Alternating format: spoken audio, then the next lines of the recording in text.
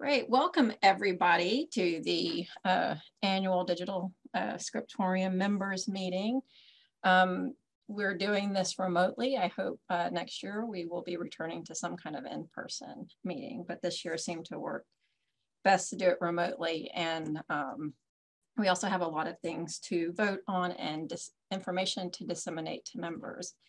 And I think remote uh, gives us a lot more opportunity to do that kind of um, dissemination of information. So thank you for coming, for taking part of your uh, Wednesday afternoon lunch hour uh, and to spend it with us.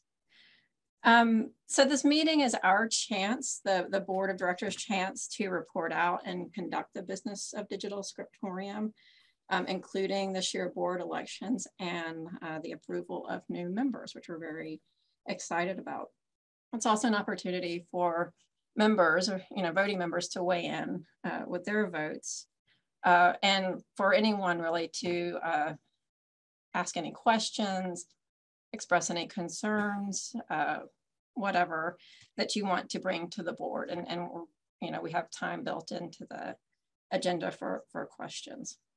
Uh, we're going to start with just reporting out uh, with the director's report and then a treasurer's report uh, a member services report. The member services is a sort of an ad hoc position that we've added in the last year. And then Lisa Fagin Davis will end with a report on the advisory council.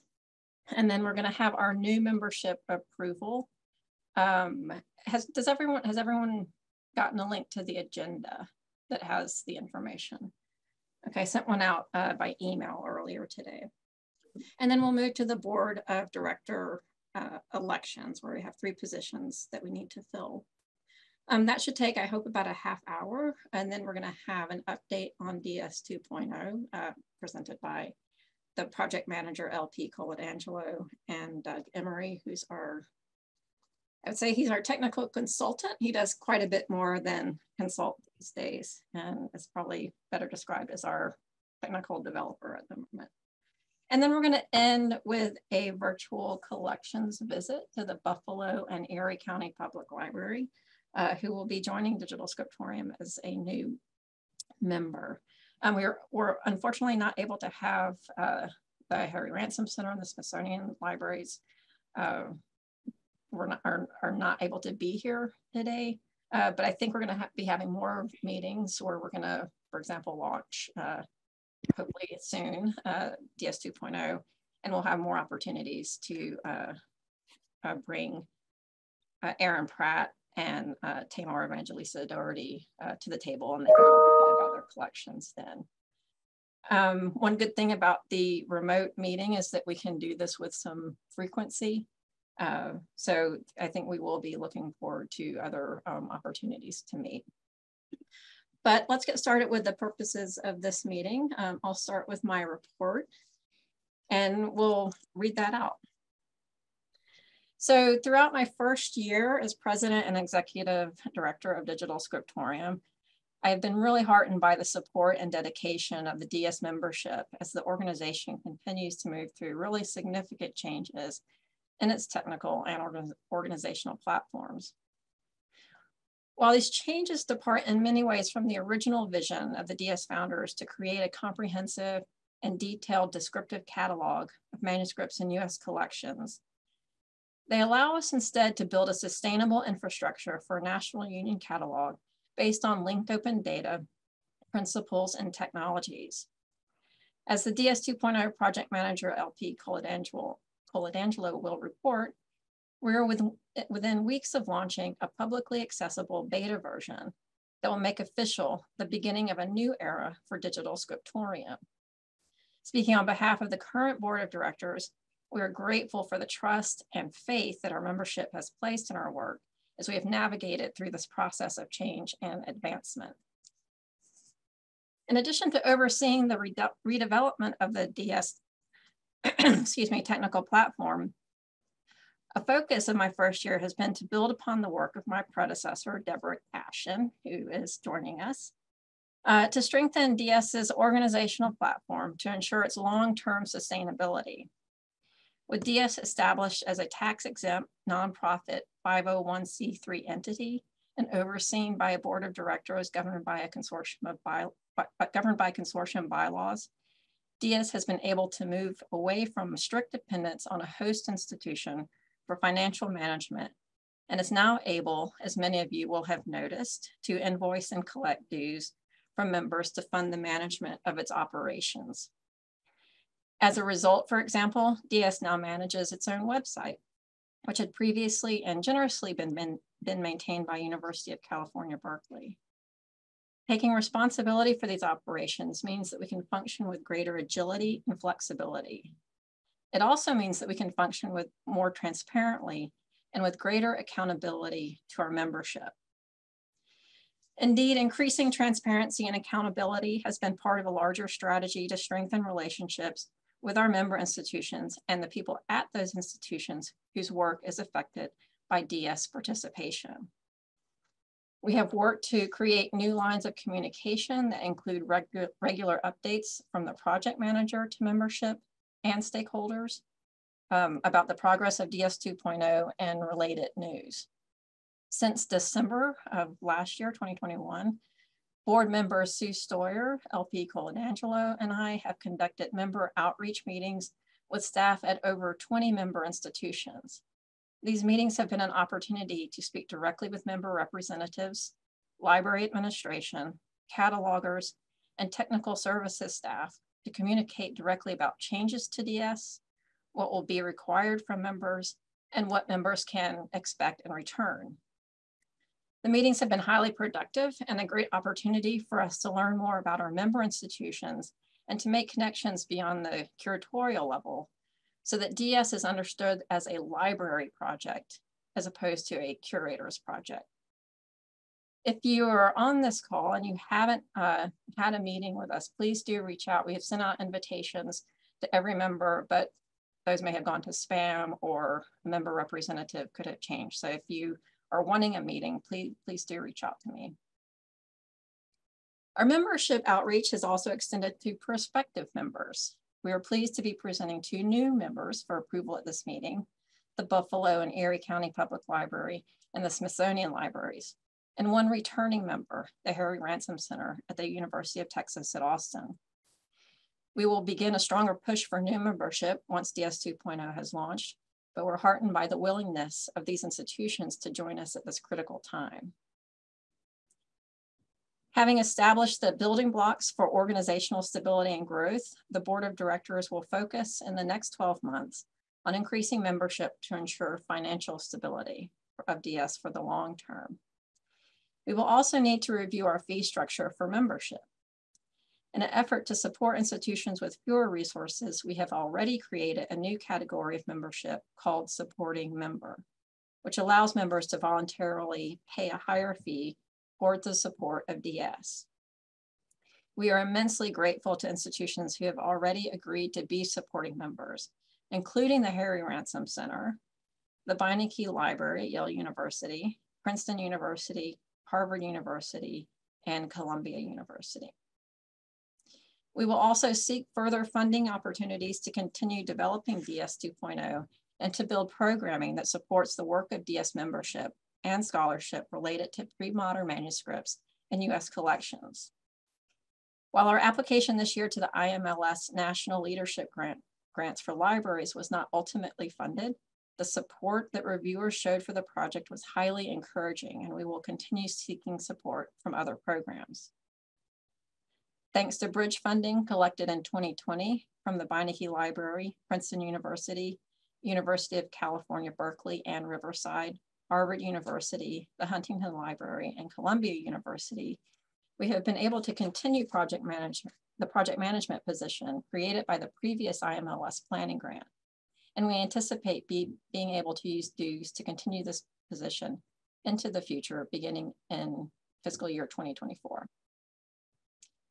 In closing this report, I'd like to thank my colleagues on the board of directors for their service over the past year and the outgoing Vice President Janine Pollock of the Free Library of Philadelphia, Secretary David Faulds, University of California, Berkeley, Treasurer Vanessa Wilkie from the Huntington Library, and members at large Tamar Evangelistia Doherty, who was formerly of Cornell University when she joined the board, and is now at the Smithsonian Libraries.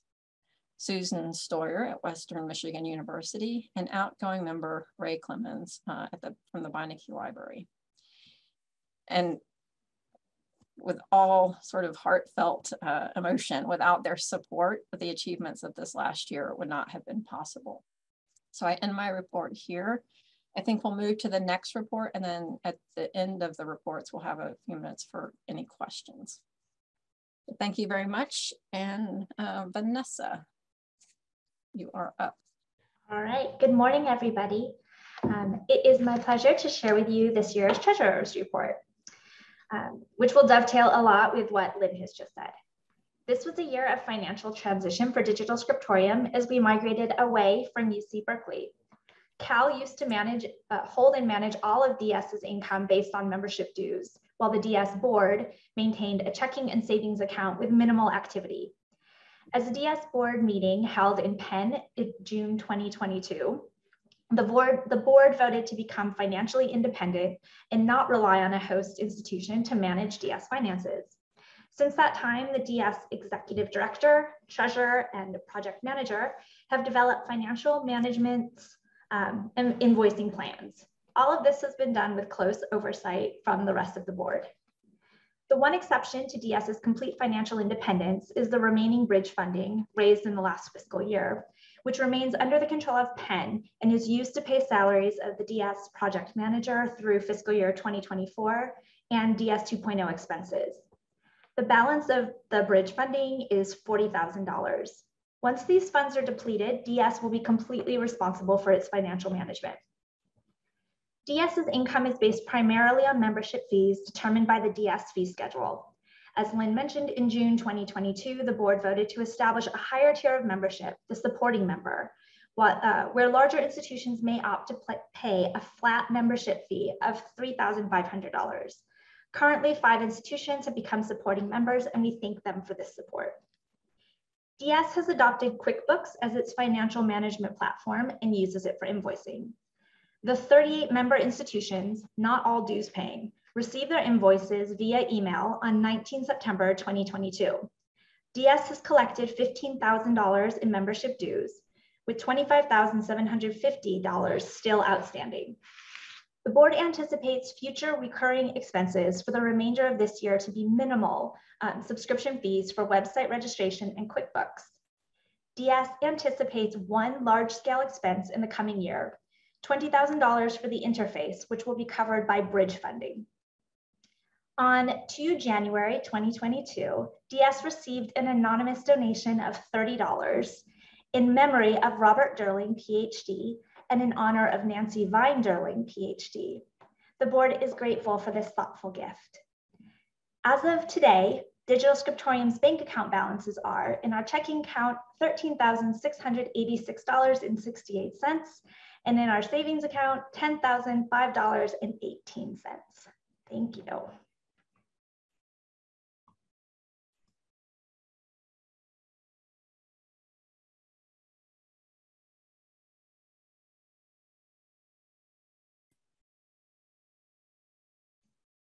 Over to Sue. Okay. Sorry, I was muted. um, a lot of the things I plan to cover have already been addressed, but I, I will uh, mention that um, we've had the member meetings. They have been really helpful, I think, in looking at how we can ingest and implement DS 2.0 in a way that works for member institutions and end users um, and to be in touch with Lynn if you haven't had one of those meetings or you would like another one.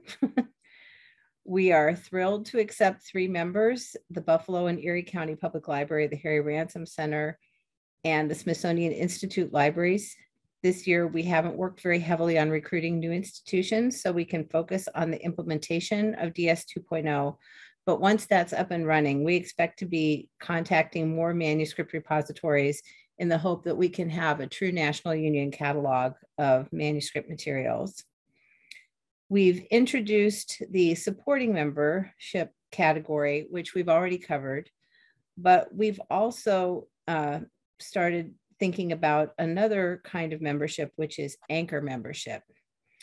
We recognize that not all institutions have the cataloging support to provide even cursory entries for their materials. And so we're hoping to develop a system of anchor members, which are institutions that are willing to help their neighbors with descriptions. This was kind of inspired by the Manuscripts on the Periphery program from Indiana University, which has helped make some relatively unknown collections visible to researchers.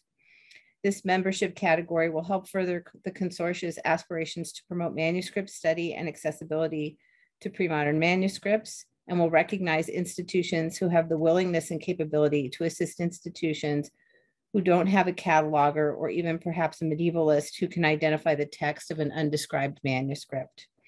Once we have the material in DS 2.0, we hope that they'll attract researchers who can help fill in additional descriptive details beyond the scope of what of the minimal description.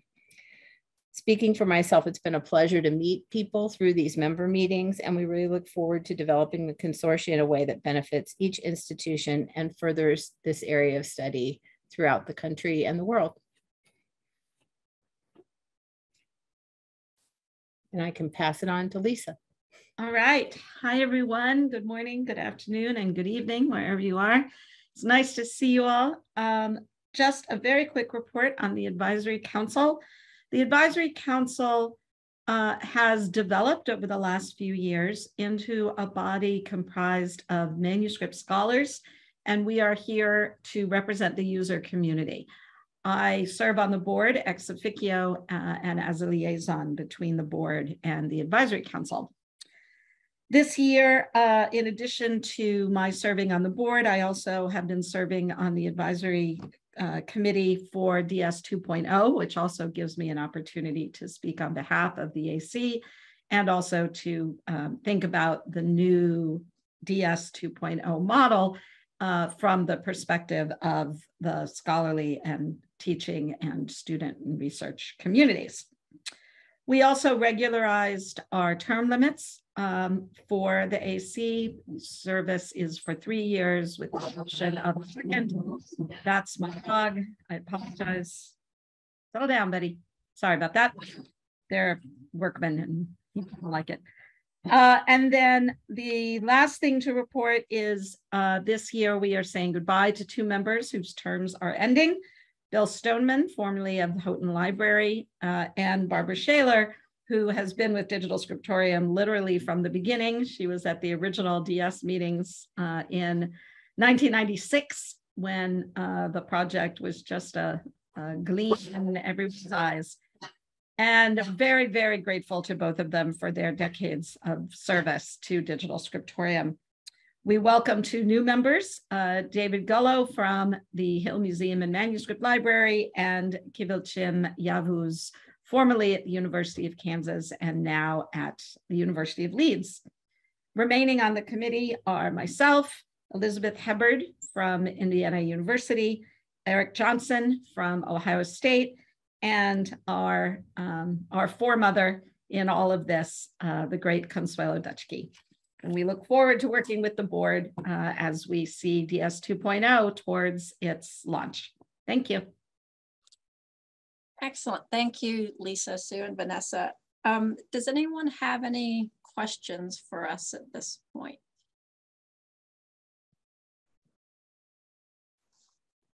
I'll look at the chat. Feel free to put questions in the chat as they come up. And if there aren't any questions, uh, I think we can move to the next item on the agenda, which is the DS 2.0 update. Uh, LP, the screen is yours. Great, thank you, Lynn. Um, I think Doug is going to be the one to share the slides if you give him that capacity.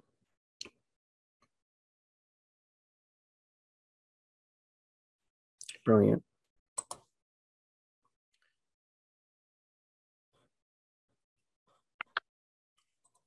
All right, thank you everyone for joining us today. Um, as Lynn mentioned, my name All is. right, LP.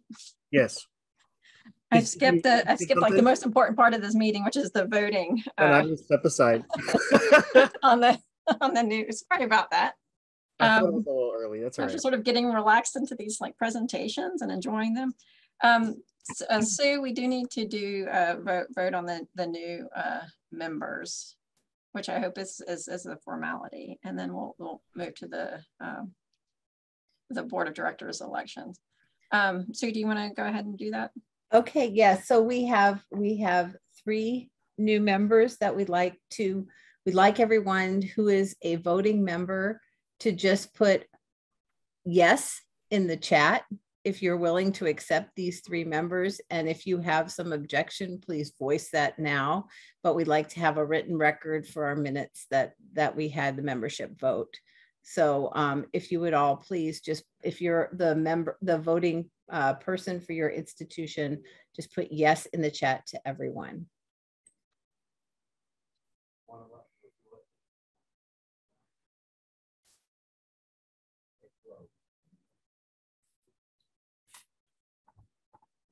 I have to do that too, because I am my institution's voting member. Um, give everybody one more second and then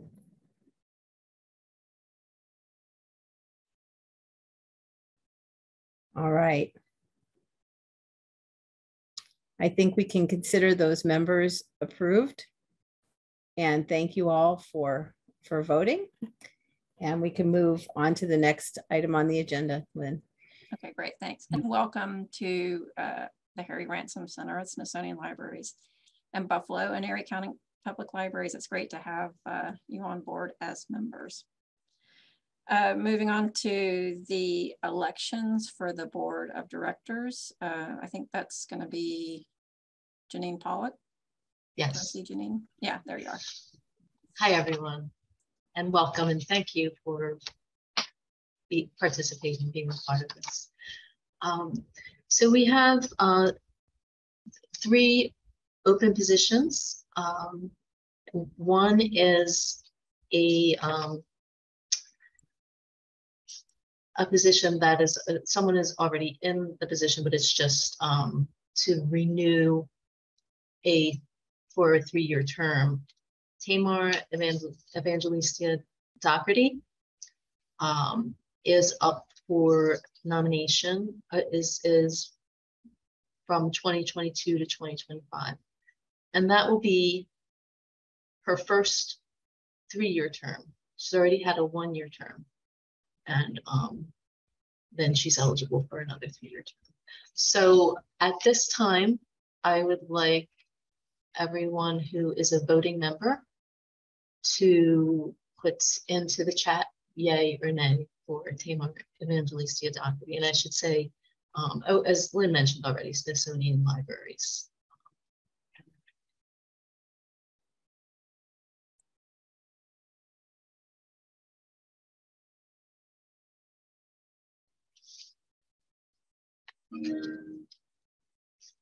Thanks, everyone. Um, next up is Aaron Pratt uh, from the Harry Ransom Center at the University of Texas, Austin, who will be is, is up for a one-year partial term with the possibility of two additional three-year terms. Um, am, Lynn, am I reading the bio or has that already been shared or? I don't, I don't think we need to Yeah. read unless someone would like us to read the bio, but it's been shared. Yeah. I Um, mean, okay. Um, so at this time, uh, please place your vote, cast your vote, yea or nay for Aaron Pratt.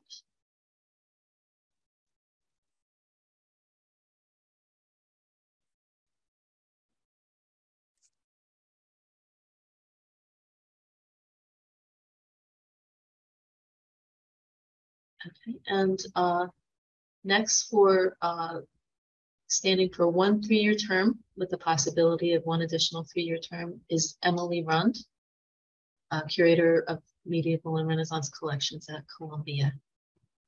And um, at this time, please cast your vote for Emily.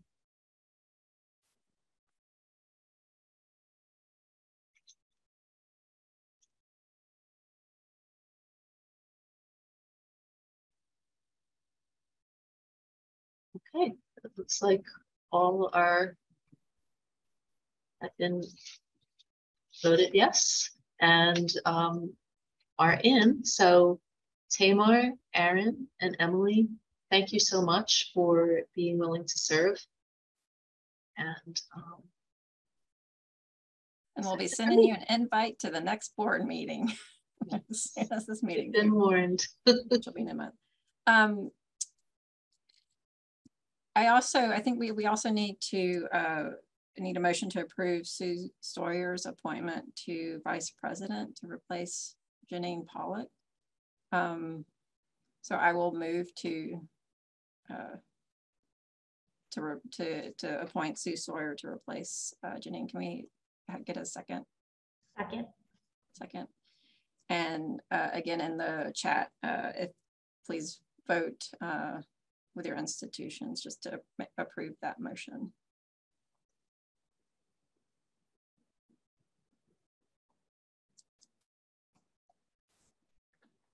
I'm glad everyone's so agreeable. It Makes our job a lot easier. All right, great. So um, yeah, I just want to reiterate my thanks to Aaron, uh, Emily, and Tamar for agreeing to uh, to to stand for election. Uh, just to give a note of explanation for for those of you who might be joining us for the first time, we uh, began uh, a process to stagger the seats on the board so that we to have you know one board signing off and then a brand new board beginning and so that's the that's the explanation for these sort of strange um, one year appointments uh, two year appointments and such awesome um, are there any questions so far any further questions great now lp please the screen is yours Brilliant. Thank you, Lynn. Um, congratulations to all uh, to the new member institutions and to the new board members and board positions. Um, so as Lynn mentioned, my name is LP Coladangelo. I'm the uh, project manager for the DS 2.0 um, redevelopment. And um, Doug Emery and I are going to share um, some uh, updates with you regarding um, the implementation progress and um, some other sort of housekeeping things that I wanted to cover. Um, and with that, uh, Doug, if you would be willing to go to the first slide. So this um, is to update you just generally uh, on the on our timeline. And the good news is is that we are on schedule. Um, so in this, uh, as approaching the and and working through the fall season, um, we've finalized our workflows in terms of what we anticipate for how to extract data, how to transform and enrich it, and then um, how that data will be uploaded to uh, our new linked database through uh, through Wikibase, which uh, Doug will talk more about. In addition to that, um, Doug has developed a local version of the prototype. So while it's not publicly available, and that's for um, sort of multiple reasons, both that it's in development and, and security issues, um, it appears to be functioning as we intended. And um, sort of running ahead of schedule is um, talking with and discussing development of our user interface. And that is the, the public facing website that's going to sit sort of in between where the um, where the user and the database is. Um, so this uh, user interface is now in development. We're working with web developers on that, um, and that that progress is moving very swiftly. Um, we anticipate that by the end of uh, this year, um, we will have a completed sort of prototype to be able to move in the beta version, and I'll um, and what that means then for early in the next year in 2023 is that our beta version is really initiated. It's the, the first sort of um, live real version of the new um, DS database. And that's going to be initiated by member data contributions. And I'll talk a little bit about what that looks like at the end of our talk. Um, also happening in early 2023 is um, as the user interface is developed, we'll be doing some user testing and that will be on uh, specific features and functions as, um, as our web developers um, decide that, that they have items that they want to user test. And then finally, I think we're on track uh, to have the user interface uh, fully launched by the spring of next year. The next slide. So this is our agenda uh, for the talk. Um, we're going to hopefully run very quickly through some of these items, um, but uh, I'm available and Doug, I believe, is available to talk about any of these through. Um, if you have more questions, please um, yeah, feel free to email me, um, and then I can I can sort of channel them to the right place. Um, but with that, I'm going to turn it over to Doug for some of his portions. We're going to go a little bit back and forth to cover different sections of our talk.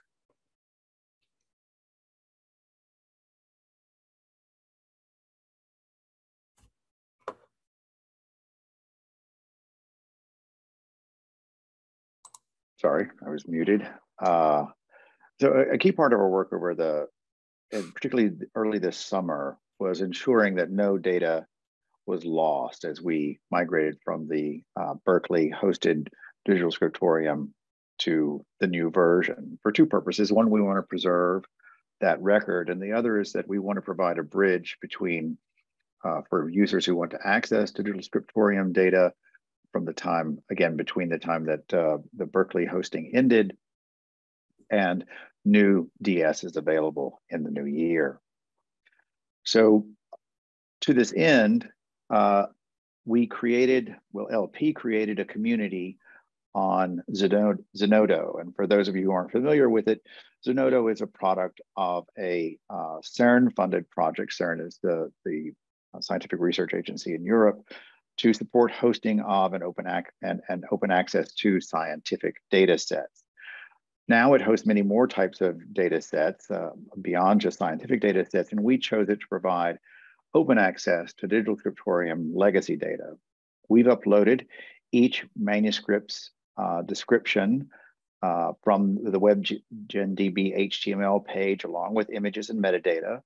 Additionally, a PDF version of the same and the METS XML that provides the backing for the WebGenDB that was hosted at Cal. Each institution's uh, DS has a separate archive for its data on Zenodo with a zip file each for the HTML and image data, a zip file for the PDF, and a zip file for the XML data. So this is means that if you wanted to download in bulk all of the data that was uh, a facsimile of all of the information that was on uh, DS as it was hosted on Berkeley, this is available to you. Now, while DS provides bulk access to the entirety of each contributor's manuscript descriptions in their different formats, it is not good enough for search or accessing individual records. To fill this gap, uh, Jesse Dummer, who worked with me at Penn, Li- in Penn Library's Cultural Heritage Computing Group, has uploaded PDFs of all of the DS legacy manuscript descriptions with uh, basic metadata to the Internet Archive. Uh, right now, uh, we have under the Digital Scriptorium account the DS legacy data collection, which is all of the some 8,000, well, it's 79 results now, but it, it, it'll be growing. Uh, 8,000 plus uh, digital scriptorium records. And she's going to be creating sub collections for each of the institutions that are that make contributions. Here's an example of a little bit of what that looks like. This is one record from uh, the state of California Sutro collection. This is the, the PDF, the top portion of the PDF, and then down below metadata that's been extracted from that record that's available for for search. So another um, exciting uh, development that we were able to leverage um, through essentially the same kind of uh, procedure that's afforded to um, preserve those individual legacy data records um, is also going to be useful for our image hosting. Um, again, this is um, in development, so I'm going to show you one example. Jesse's been nice enough to to, to doctor up one example of what this looks like. Um, but on the next slide here, you'll see, um, so this is um, an image of um, manuscript image uploaded to Internet Archive through our DS account. And um, if you go to the next slide, you'll see um, how this becomes functional. So when you upload an image, or really anything to, to Internet Archive in this capacity, um, it renders a URL.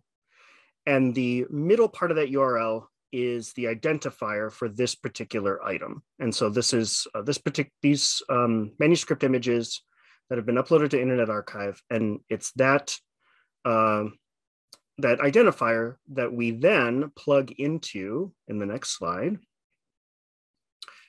a generic URI that's used to generate the manifest, the IIIF manifest for this image. So um, what's cool about this is that Internet Archive essentially provides um, free of charge um, manifests, uh, IIIF manifests and, and, and um, IIIF uh, capable uh, image hosting so that when you take this particular uh, URI that you've plugged your identifier into, you can put it into any other IIIF compliant image viewer, in this case, Mirador, and you're able to get um, all the functionality of uh, IIIF um, for our purposes free of charge. So um, this has been a, a, a, really great development for us to um, be able to host, in this case, legacy images, folks that um, had no other place to put their images. Um, and so as a stopgap, as a temporary measure, um, we've been able to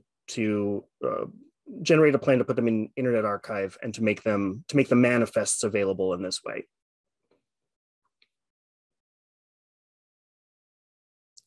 Um, I also want to make a, uh, a little bit of a reminder to you that in addition to um, all of the open source work we've been doing in terms of providing data and image hosting, um, on the next slide, you'll see that um, you can uh, get access to all of our um, procedures in terms of how we uh, transform the data and what our data dictionaries look like, our metadata repositories, our uh, SPARQL testing, SPARQL query testing.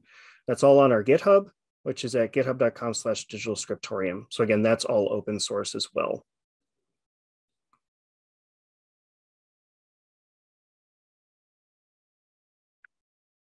Over the past year, uh, most of our work has been in refining and extending our workflows for processing source data and enriching and ingesting that data into our prototype Wikibase instance uh, following our linked data model.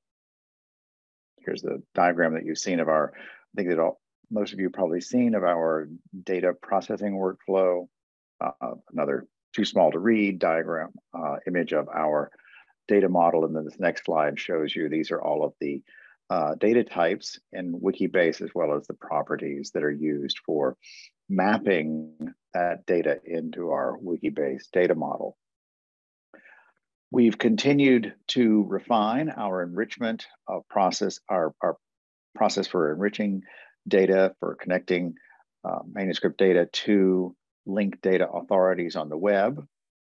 So uh, the the at present, these are the the vocab the types of data and the vocabularies that we are uh, using for our linked data enrichment for centuries, materials, roles. We are linking to the Getty Art and Architecture Thesaurus, uh, languages and people and organizations. We are using uh, Wikidata identifiers to link those items places. For those, we're using the Getty Thesaurus of Geographic Names. And then terms are a slightly more complex uh, beast. They connect to a number of different terms as represented, a different number of different vocabularies as represented in our source data. Uh, so there we're linking at present to the Getty Art and Architecture Thesaurus, OCLC FAST, which is the faceting uh, uh, identifiers for LC subject headings, and the Ligatus language of binding vocabulary. So we've been doing a, a lot of development has focused on both extracting data and then ingesting that data into our uh, Wikibase instance and having uh, representing uh, the these records according to that model and after they've been enriched.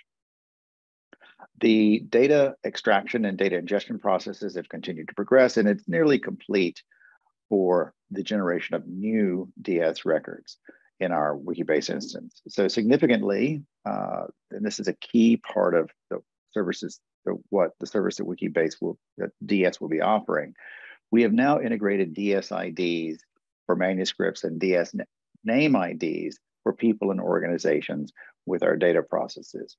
processes. These uh, identifiers will be Digital Scriptorium's permanent digital identifiers for manuscripts, people and organizations uh, on the web for citation purposes as well as for linking.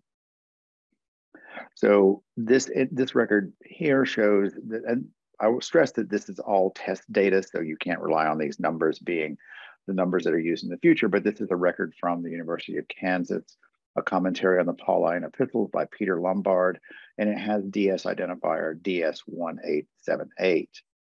Uh, further down in the record, in the upper left-hand corner, probably a little bit too small, maybe too small to see, is uh, the associated name is recorded, Peter Lombard, who is an author, who is also found in our authority file. This is found over here on the right upper right-hand side of the page. Uh, this is in our uh, Wikibase instance. Peter Lombard has the DS name, the DS ID DS name 251, again, a temporary uh, value for purposes of, uh, for, of testing. And then also uh, the QID, the Wikidata QID that links uh, Peter Lombard to Wikidata. On the right here, you see uh, an excerpt of the lower right, you see an excerpt of the Peter Lombard record uh, on Wikidata. And LP is going to be talking a little bit more about our name authority work in a, in a few minutes. There are and let me back up real quickly and say that that as we get closer to our uh, beta release, we will have a public publicly available Wikibase instance so that user so the members will be able to look at the look at the data, and we will begin ingesting data into production digital scriptorium. This process will assign the permanent DS IDs and DS name IDs and we will, at that point, begin contact, contacting members about our process for accepting and ingesting manuscript records. Our workflow will include returning to each contributor the data that is generated, the, the data that we enrich uh, as in the format that we have floated into uh, our Wikibase instance with DSIDs for each record. The updated descriptions submitted to DS any updated descriptions that are submitted to DS will need to include existing DS IDs so that the new descriptions can be linked to the correct manuscripts. This workflow will be worked out and we'll be in touch with members um, in, in time to uh, explain the process and to talk about other types of data that will need to be provided. A couple of different kinds of, couple of the other kinds of questions that we'll be uh, answering are how to make sure that we have links to institutional records if those are not provided uh, in the source data, and also how to have provide links to IIIF manifests, again, if those are not provided in the source data. These are the these are the main outstanding development tasks that we have for our uh, for our data extraction and ingest process. As I just mentioned, we want to be able to output imported records as CSVs with associated DSIDs along with them. We need a process for updating existing records. So currently we're working on focusing on new records. We're going to develop a process that will allow us to update new uh, records with new descriptions and new holdings information in cases like the manuscript has moved, its call number or, or internal identifier has changed. We need to implement import process, the import process for two remaining data fields the dated field, which indicates whether or not a manuscript is internally dated, the, and the uniform title field. This is a this is a lower priority for us, as a very small number of the manuscripts that we'll be importing have uh, a uniform title value in their MARC records, or may have so in their in other types of sources. But um, we want to make sure that we we offer this as well. Uh, we need uh, we're going to build a process for uh, ingesting CSV sources. So for instance, now we have a complete process for extracting data from MARC XML, TEI XML, and the legacy DS DSMETS data from the Berkeley database. But we want to be able to accept, uh, and we will accept uh, data from uh, members that don't have these types of records to provide. And then finally, we want a DSID uh, URL, URL resolution, resolution service. DSIDs become really useful uh, not just when they can be used as a way to refer to a manuscript, but they can be used for digital citation uh, and for connecting to DS records. Um, we want to be able to make these connections, even in cases where, in the event that, that our data has moved from uh, wiki data or the Wikidata identifiers uh, have changed internally. And so we'll need a, a service that would allow, and this is actually a relatively simple service to build, but that will allow users to uh, use the DS IDs and but the DS name IDs and find the correct record in our in the in DS uh, Wikibase. Um, so kind of dovetailing on the, the usefulness in terms of how DS is, um, its redevelopment is going to be part of a larger linked data infrastructure. I want to point to uh, some of the work that we've done developing a workflow for, um, for our name authority that's in DS uh, 2.0. And um, on the next slide, what that looks like is um, this process that I've worked out through um, through the work of um, some assistance with, from Mario Sassi, um, who's a doctoral candidate at University of Pennsylvania, and um, his appointment is funded through a Domus Foundation grant.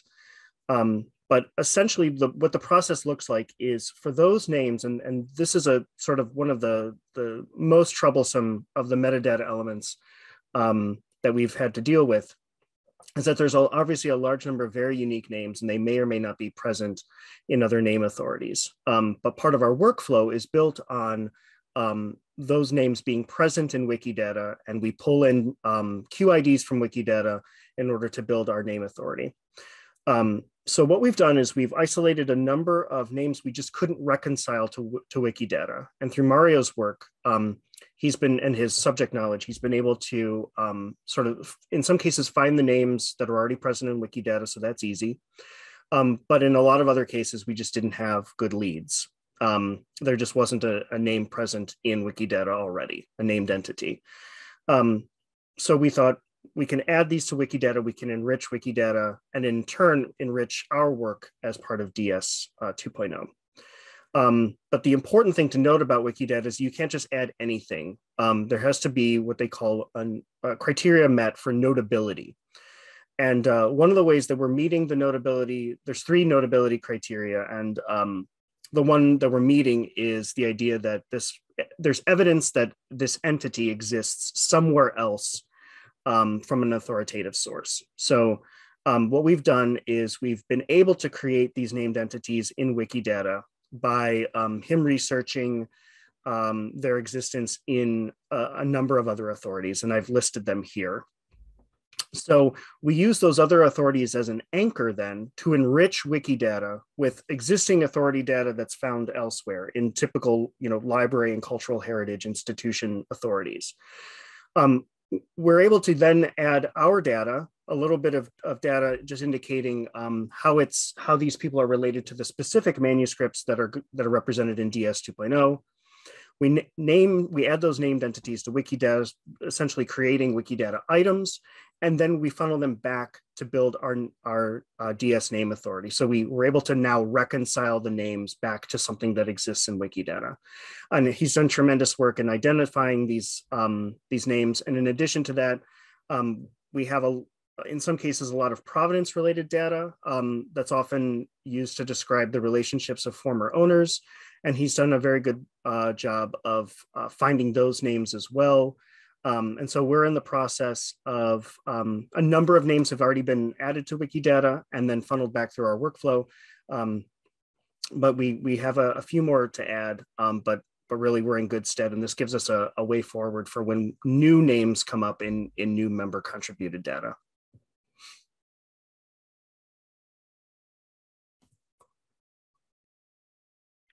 So the two big developments that I'm going to, the two developments I'm going to talk about next, Wikibase Cloud and our work on the public website are just, they're really happening both at the same time this fall and they're, they're both really, they're, they're very exciting. The, the first is that, of the two is that we uh, found out uh, that recently we're notified by the Wikibase Cloud that we would be able to host uh, that we that our account was available and we could uh, begin hosting our Wikibase instance there. So Wikibase Cloud is a Wikibase hosted service that is uh, that is offered by Wikimedia Germany. Uh, they are the uh, the maintainers of the Wikibase suite of applications and the and the host of Wikibase Cloud. They're also deeply involved in and Wikibase. Uh, I think everyone knows is the software that runs behind Wikidata, and I believe they may be the primary uh, maintainers of the Wikidata platform. But in any case, uh, they they're they're experts at hosting uh, Wikibase, and we're very excited to be moving to uh, this service in part because it's an expertise that we don't have. As LP pointed out, one of the reasons that our current Wikibase uh, cloud, a Wikibase instance is not available for public access is security, and that's because uh, I and, and the other staff here at Penn Libraries, we lack the expertise to, uh, we lack expertise in the Wikibase platform. So this is great. It means that we can really focus on uh, Wiki on, on digital scriptorium work and not be worrying about maintaining uh, a Wikibase instance ourselves. The I have already begun uh, doing research and some made some small experiments at adapting our process for hosting, on Wikibase Cloud. Uh, the work will require some modification. It's a slightly different environment, uh, but based on my research, I think we have a clear path forward and we'll be adding data there soon and starting uh, completing that, that migration process. Uh, also mentioned that that I am regularly participating as representing Digital Scriptorium in the Wikibase stakeholders month, uh, monthly group meetings, uh, and I'm in communication with the Wikibase community and the Wikibase Wikimedia staff as I do the work. And it's a very uh, opening and supportive community, and it's, it's exciting both to be doing this work and it's exciting to be a part of that, uh, a part of that community. The other really exciting uh, work that we're doing now is the interface development work. Uh, we began uh, work a few weeks ago with uh, Ben Bacalar's firm, Human Experience Systems, on the interface design and implementation. Ben, some of you may have already heard his name. He is the developer behind the Manuscripta project who, that was uh, led by Deborah. And so some of you probably already know that work. We are working on a timeline that has search and browse interface available in the early spring of 2023.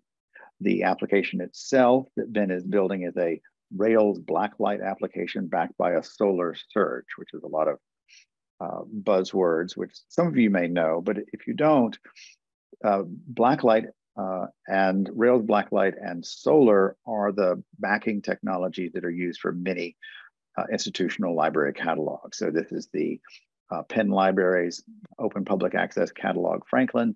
There are many other institutions that use Blacklight. It's also the technology that provides the search for the Schoenberg database of manuscripts.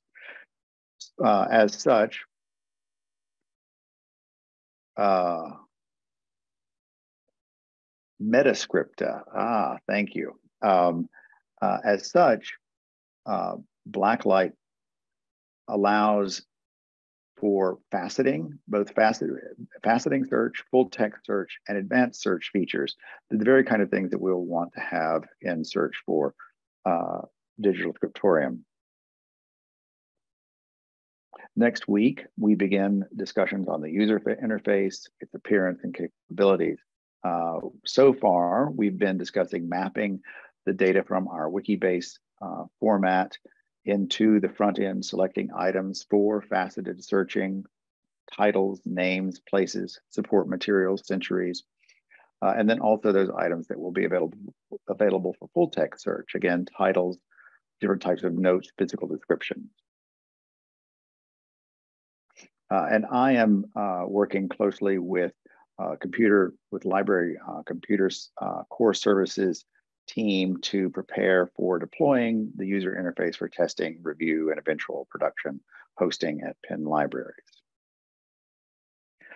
One of the topics that we're talking about is what is the relationship between the different uh, the different types of uh, sites and uh, data that we'll be working with. And so we're the gray box here is this undetermined that will as yet you know unfully designed uh, public search interface but we know that it's going to have its own role in the, the ecosystem of the different types of, of sites and information sources that rep, that wiki that digital scriptorium represents. So there will be linking from the front end interface back to institutional catalogs. Here's a record from believe. Who is this from? It's too tiny for me to see. Um, and then also to the Wikibase instance. And of course, the Wikibase instance will, all, will be linking to the institutional catalogs as well. So finally, I want to wrap up um, with sort of what the next steps are in terms of um, what we're kind of expecting from uh, from members and um, getting you in mind of pre preparing for for what for our next steps in terms of the uh, the beta version.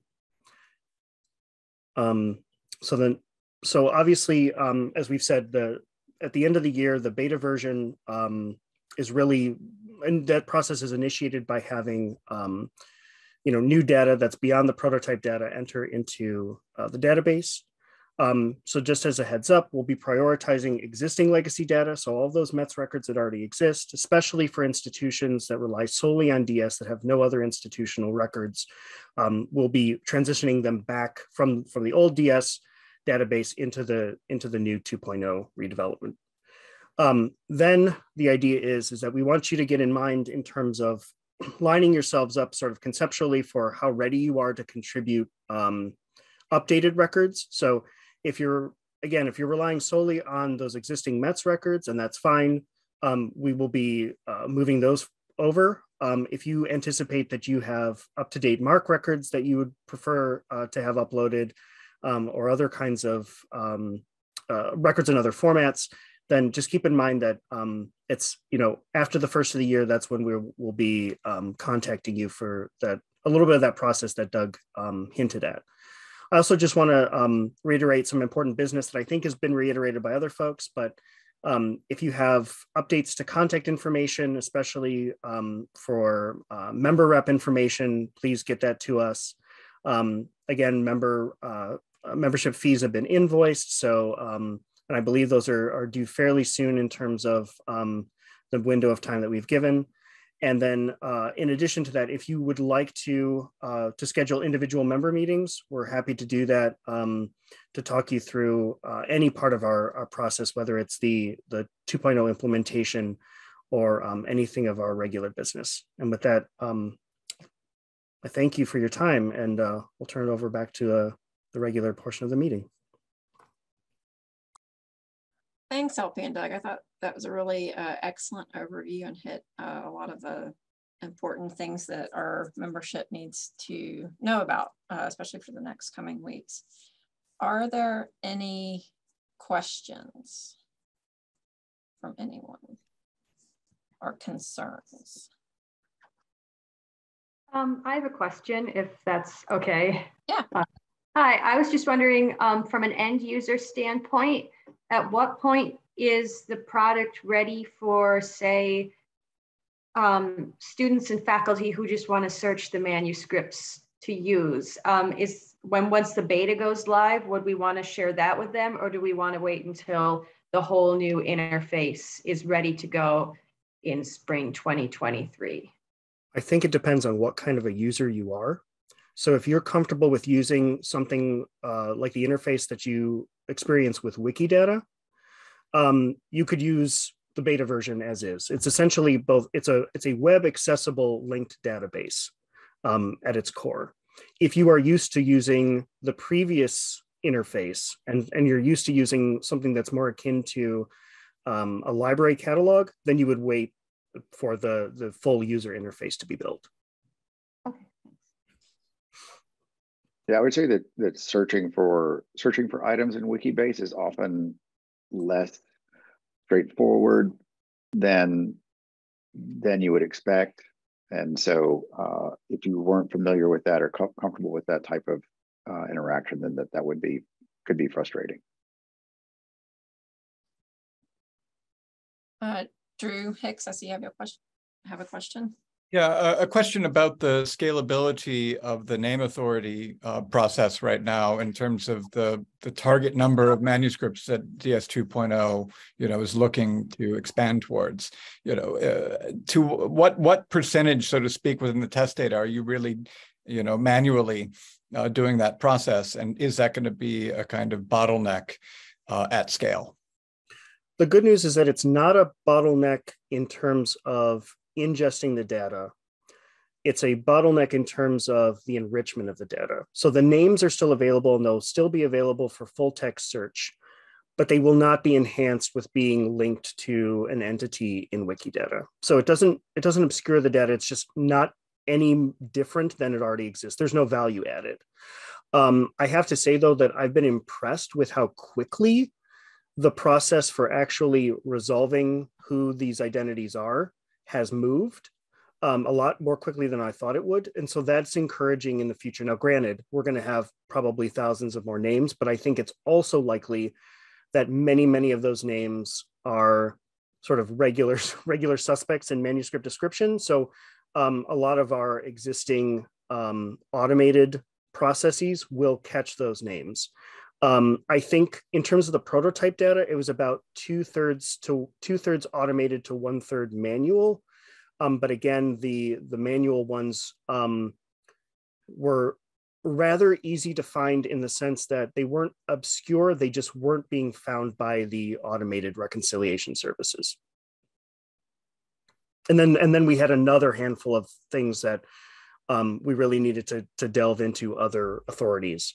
Um, if folks wanted to work with us to be able to develop reconciliation services for these other authorities, that would solve some, some of our problems, but that's almost, that's a larger development question um, and, a, and a lot of, and having to put a lot of resources behind something that's sort of relatively small at this point.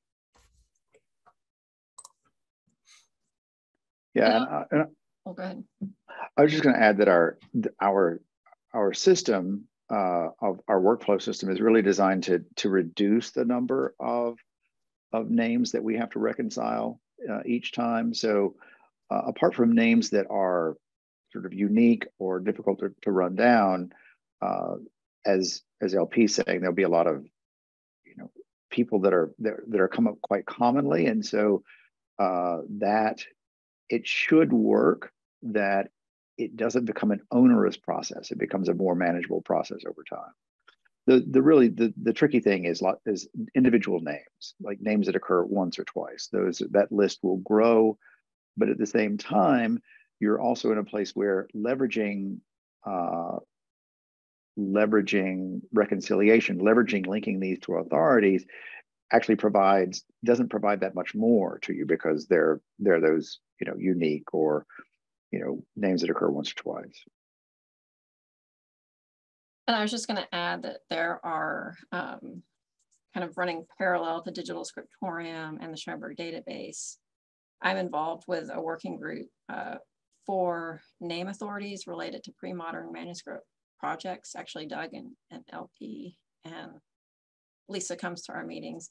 And so this is something, you know, adding uh, names involved in the production and trade of uh, pre-modern manuscripts to Wikidata um, may become a larger project, which would impact Digital Scriptorium in the sense that all those projects that are contributing their uh, name data to Wikidata um, will be supplying those, you know, the, the, the QIDs that, that we need to populate um, and reconcile for, um, for DS names. So it, it's a good question, especially when when we consider that we're opening the scope of digital scriptorium to include non-Western, and there's a lot of work to be done on names in non-Western traditions. Um, but it's something that a lot of people are thinking about and, and circling around Wikidata as the place to contribute those names and I think it's a it's a very sort of interesting uh, area for future research and and and applying for grants and and that sort of project, uh, that that sort of funding to um, you know to make to make this kind of a research project, make make this part of the research process because I think name authorities are an incredibly rich uh, an untapped resource for, for research. Are there any other questions? I don't see any more hands raised. All right, thanks LP and Doug. Um, and now uh, I wanna hand it over to Amy Pickard, who is the Rare Book Curator for our new member um, at the Buffalo and Erie County Public Library. And she's gonna say a few words about the collection uh, and, and how they uh, came to be members of Digital Scriptorium. So Amy, I'll just, I'll hand it over to you. All right. Uh, good afternoon, everyone. Uh, I am Amy Pickard, the Rare Book Curator at the Buffalo and Erie County Public Library, which is in Buffalo, New York.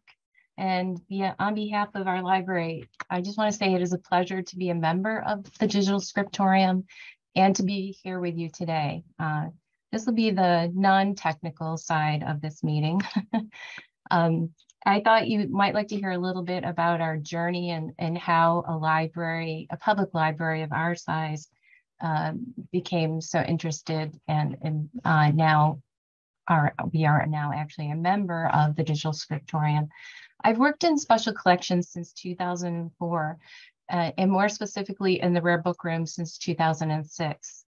My since retired colleagues and I first heard about the Digital Scriptorium in fall of 2009 when we visited the Houghton Library and we met then curator of early books and manuscripts, William P. Stoneman. He was the most gracious host. Uh, who, he even bothered to check our holdings before we arrived and knew that our library had some medieval manuscripts. He suggested that they ought to be included in the digital scriptorium and gave us some information about it. And I still have this card that he gave to me then. Uh, since that visit, it's been my goal on behalf of the Buffalo and Erie County Public Library's rare book collection to become part of the digital scriptorium. However, we had one major obstacle. We did not and do not have a cataloger on staff with a specific level of expertise necessary to correctly catalog our medieval and Renaissance manuscripts. By this, I mean someone who could both correct the inaccurate and uh, and also complete the inadequate adequate uh, catalog records that were done many years ago. Fast forward nine years, and Consuelo Dutschke, then the curator of medieval and Renaissance collections at Columbia University, visited our library to see our manuscripts in 2018. She also suggested that we ought to have our collection included in the digital scriptorium. I said that we would love to, but explained that the cataloging was holding us back and there was no solution at that time.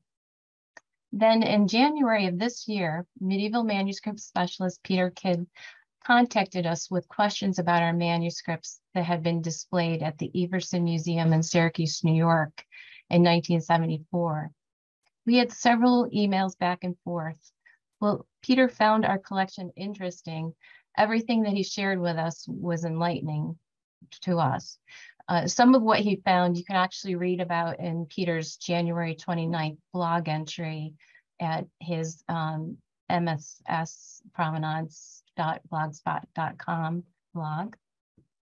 In our emails, Peter also recommended we become part of the digital scriptorium. I explained once again that we would if we could find a cataloger who could properly catalog our stuff. He suggested Consuelo Dutschke, whom he knew, uh, whom we knew from her visit in 2018. Since she had since retired, she might now be willing to catalog our material. When I asked her if she she would, her reply was the most warm and benevolent yes. Both Peter and Consuelo gave me Lynn Ransom's contact for information about the Digital Scriptorium 2.0 and membership. Thankfully, our institution's Assistant Deputy Director of Public Services, Dorinda Darden, and Library Director, John Spears, recommended the importance of uh, becoming part of the Digital Scriptorium, even though we are a public library and there are so many other things we focus on as such. So here we are today. The Buffalo and Erie County Public Library is finally a member of the Digital Scriptorium, and we are busily digitizing our manuscripts for our digital collections and to link those records that will appear in DS 2.0. I cannot tell you how grateful we are for Peter and Consuelo's generosity with their time and willingness to share their knowledge. Without either of them, our participation in Digital Scriptorium would not have been possible. I would like to say thank you to them both very much. Uh, just a, a, little bit about our collection itself. Uh, this would have been um, a little bit more in detail. Uh, however, the meeting on my Outlook calendar for this annual meeting was for Friday.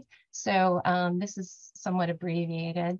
Um, our, our list, our working list is up to 41 items, most of which are single leaves, but there are a few bound manuscripts as well. Um, and this includes Western and non-Western manuscripts. Some of our holdings appear in the De Ricci census, but many do not. Uh, we have in what we have in De Ricci can be found listed under our institutional predecessors, the Buffalo Public Library and the Grosvenor Library. Those libraries merged with the Erie County Public Library to become the Buffalo and Erie County Public Library. The Grosvenor Library's list, Grosvenor Library was a reference library, and its list is much greater than that of the Buffalo Public Library. Um, and that was due in large part to a purchase of the Louis Charles Elson collection in 1924.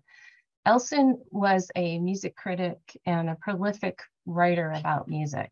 So as you would imagine, most of the manuscripts Elson collected were music related. But there have been additions to the collections over the years. And again, I, I deeply apologize that I haven't um, the pictures to share with you. Again, thinking that this um, was uh, taking place uh, two days from now. So um, this may be the shortest part of the program and, and I do apologize for that, but it's so great to, to be among you to actually be now a member of Digital Scriptorium. Thank you all very much.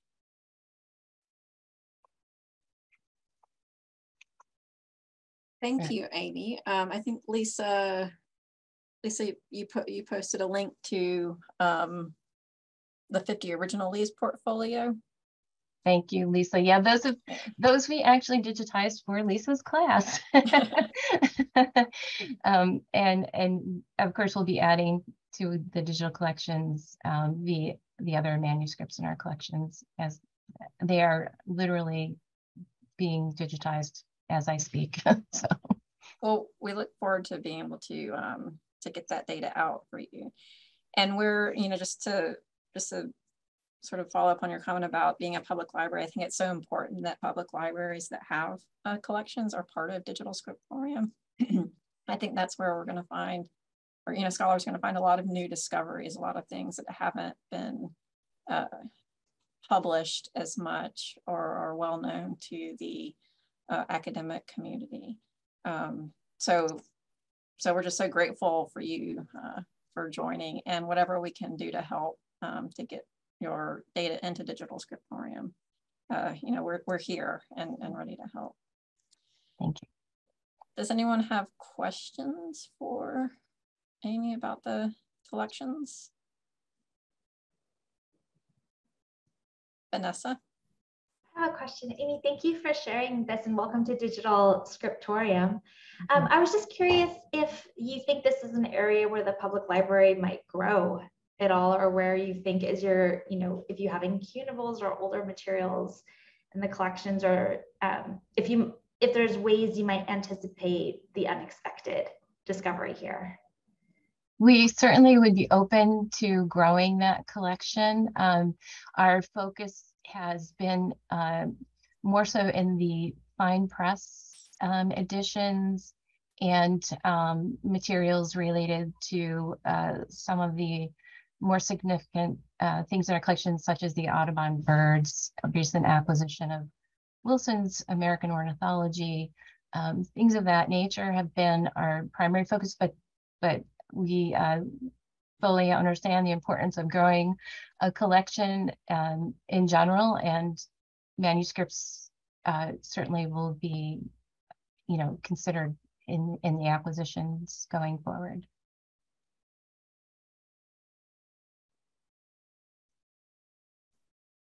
Any other questions? Kivilcim, your hand is raised. Thank you. Oh, this is so exciting, I think. And uh, I'm also, you know, due to my new position, which entails teaching, uh, I am also thinking maybe we can collaborate with uh, libraries to catalog their manuscripts also through digital means. We don't have to be there. To some extent, this cataloging can be done. I would also be interested in for example, in uh, Amy's case, if uh, you know such wonderful uh, you know experts like Consuelo and Peter uh, are already providing descriptions, but uh, maybe not in a format that is uh, suitable for ingesting into digital scriptorium, such as XML cataloging. Um, I could be of assistance through students as well and other colleagues who are working on cataloging manuscripts in these ways.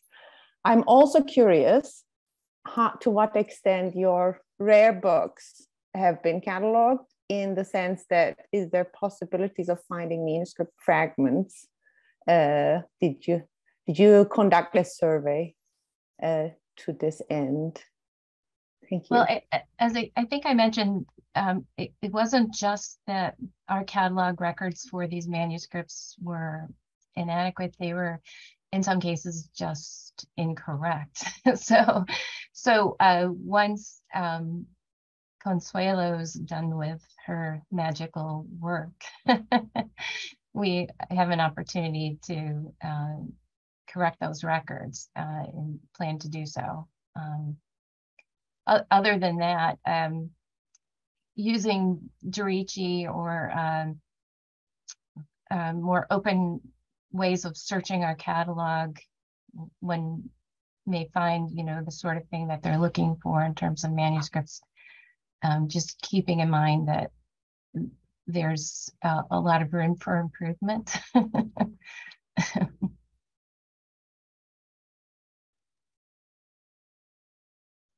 think that's true. I think everybody uh, on this um, on this meeting can say that's true of a lot of their uh, cataloging. There's always room for improvement, um, no matter how perfect you think your, your cataloging records are.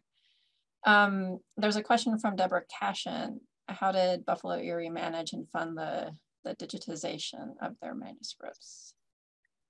So we we actually have um, a person on staff who uh, wears many hats, and uh, the the bulk of her time recently has been spent digitizing um, this collection. Uh, so, so we've dedicated most of that staff person's time to all of our digitization projects. Um, I wouldn't say that this is the best way to do that.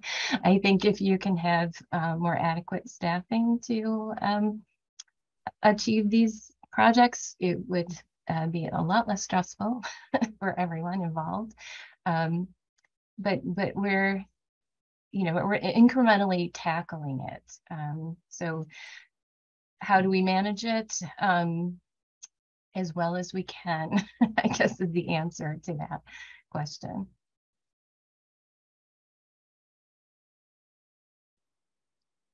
Any other questions about um, questions for Amy or for the board or LP or, or Doug? Any lingering thoughts?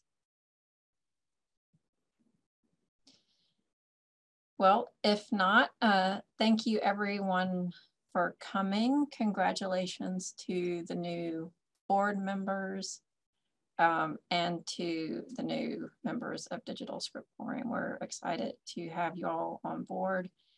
And we look forward to uh, working with you in the future and, and getting more information to you um, about Digital Scriptorium 2.0, uh, getting that, that to you soon. All right, well, I think we can adjourn this meeting.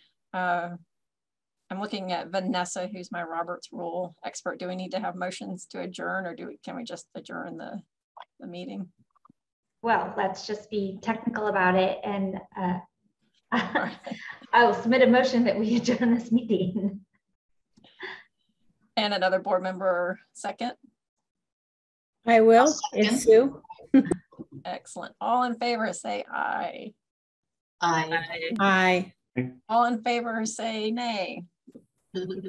Excellent, we're done. Um, we'll be in touch soon. Please uh, check your spam folders for uh, if, if, you're if you think you aren't getting announcements from our MailChimp newsletter service, uh, please uh, be in touch and we'll, we'll see if there's a problem with the email or or what. But this is our primary means of communication. I think probably most people in this meeting are getting the emails. Um, but if you uh, if there are people at your institutions who you also think should be getting this information, please encourage them to sign up to the newsletter by going to the, the DS website. All right, thank you everyone. Great job. Bye and see you soon. Bye guys. Thank you, Bye. Lynn.